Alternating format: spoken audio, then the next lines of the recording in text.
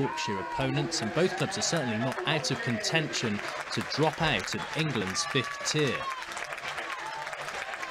With half an hour gone, Matt Kosylo started a move from halfway, driving at the Woking back line, but after being halted by Kane Ferdinand, secured a penalty.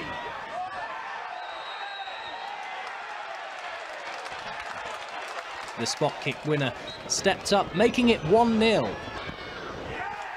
Five minutes after the interval came an equaliser at the Laithwaite Community Stadium. An effort from outside of the box by Regan Charles Cook was diverted past Sam Johnson by Charlie Carter, now Woking top scorer with nine for the campaign. 20 minutes later, though, dominant Halifax pressure paid off. Once again, Nathan Baxter was beaten by Kosylo, who's on to eight for the season for the Shaymen. Into the final 10, Jamie Fullarton's men weren't shy, pushing for more. A Michael Duckworth cross found sub Connor Thompson, who scored on his debut. Halifax are unbeaten in three, their best run since October.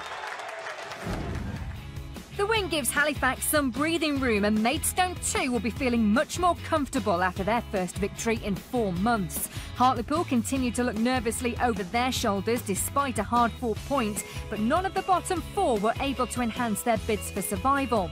At the top, Macclesfield stayed two points clear of Sutton as both maintained their winning streaks, with Tranmere and Wrexham also keeping pace. Meanwhile, with Dover's game at Eastleigh postponed due to a waterlogged pitch, Fylde's resounding victory moves them within two points of a playoff place.